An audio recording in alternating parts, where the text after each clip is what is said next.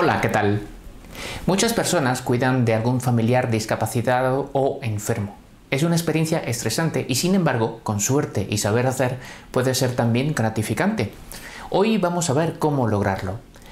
Ser un buen cuidador se basa en tres patas. Cuidarse, no cuidar demasiado y pedir ayuda. Cuidarse significa atender las necesidades propias básicas como descansar, alimentarse bien y vigilar de cerca la propia salud. También es fundamental participar en actividades agradables. No cuidar demasiado significa apoyar la autonomía de la persona a la que se cuida, permitir que decida todo lo que pueda. Pedir ayuda puede marcar la diferencia. A muchos nos cuesta reconocer que nos vendría bien una mano amiga, pero aquí, como casi siempre, el ego es nuestro enemigo. ¿Entramos en detalles? Acompáñame. Este es el paso más importante como cuidador. Incluso en las mejores situaciones, cuidar es estresante y puede comprometer la propia salud. El primer paso es informarse como haces ahora.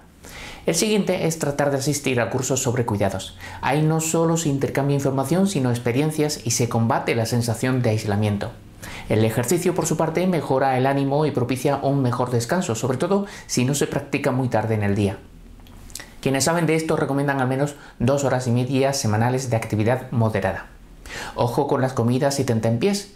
La presión puede llevarnos a sentir lástima de nosotros y a concedernos demasiados caprichos, cuando lo cierto es que las comidas sanas son fáciles de preparar y nos dan más energía para aguantar el día. En cuanto al descanso, si no se duerme lo bastante por la noche, hay que considerar las siestas y procurar dormir una vez a la semana a pierna suelta. Si no dormimos lo suficiente, enfermaremos.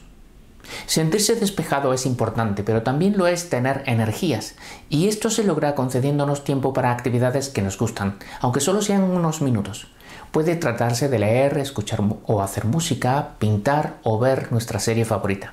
Y si se trata de acudir a clases o a servicios religiosos, habrá que ponerse de acuerdo con alguien para que se quede con nuestro familiar una o dos horas o un par de veces por semana, por ejemplo. Las obligaciones hacia nuestro familiar no deberían poner en riesgo la propia salud. Primero, por nosotros. Segundo, porque otra persona depende de nuestro estado. Por ello, es importante acudir a las revisiones médicas que correspondan, incluyendo las citas con el dentista, y estar atentos a los signos de depresión, sean en uno mismo o en la persona que cuidamos. Si los sentimientos de tristeza y desesperanza se vuelven persistentes, hay que pedir ayuda. Puede venir de la mano de amigos, familiares, profesionales de la salud mental o hasta de consejeros espirituales.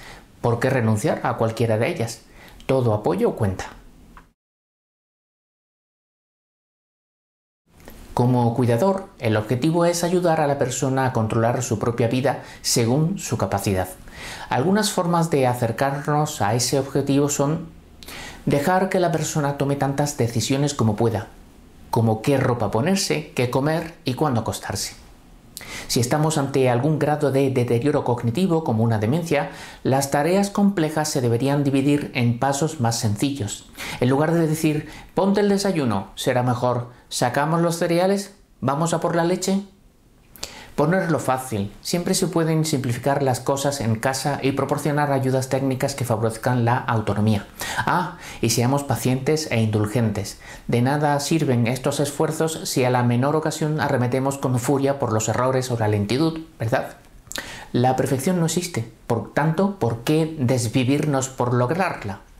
Al contrario, apoyemos y alentemos a que la persona intente de verdad hacer las cosas por sí misma. Está en juego también su autoestima. También mejora sentirse útil el cuidar de algo. Por eso es buena idea asignarle a la persona cuidada el cuidado de alguna mascota o planta. El efecto puede ser sorprendente. Está comprobado que se vive más y mejor. Desde luego hay que adaptar las tareas a las capacidades reales. En caso de duda, el médico nos guiará sobre lo que es razonable pedir. La mejor respuesta a la pregunta ¿necesitas algo? es sí Sí, necesito que alguien se quede aquí para poder salir. O sí, me vendría muy bien una siesta. Conviene tener una respuesta preparada por si la familia o los amigos se ofrecen a echar una mano. Hay un sinfín de tareas para elegir. Ir a por la compra, preparar comida, limpiar, relevar en los cuidados unas horas o días.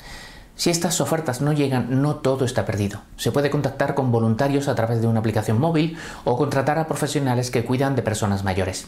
Esto se conoce como servicio de relevo. Quizá es el más valioso. Y si la persona precisa de atención sanitaria rutinaria, se puede concertar una estancia en una residencia para mayores durante los días que el cuidador necesite descansar. Es la evolución lógica de lo que se hacía en España hace unos años, cuando los familiares dejaban ingresado al abuelo durante las vacaciones y presionaban para retrasar el alta hospitalaria. Estas residencias suelen ofrecer dos niveles de cuidados. Los intermedios incluyen asistencia para ir al baño, vestirse y cuidados personales si no tienen problemas médicos graves. Los cuidados de enfermería especializada suelen ser para personas que acaban de salir del hospital o cuya condición de salud lo requiere. Hasta hay algunos centros que disponen de unidades especiales para personas con demencia. Para casos no tan graves están los centros de día para mayores, lugares donde alguien que no requiere atención sanitaria especial puede quedarse y sentirse acompañado. Suelen abrir sus puertas en jornadas y horarios laborales. Además de comidas, ofrecen actividades sociales como bailes y fiestas. Y para los que no pueden salir porque su salud está muy deteriorada y de un modo irreversible, están los cuidados paliativos. No hablo necesariamente de sedación terminal, sino de servicios sociales, personales y médicos para quienes están en sus momentos finales y prefieren quedarse en casa. Esto es todo por hoy. Espero haber proporcionado alguna idea útil. Si es así, habrá merecido la pena. Muchas gracias por haber llegado hasta aquí y hasta el próximo vídeo.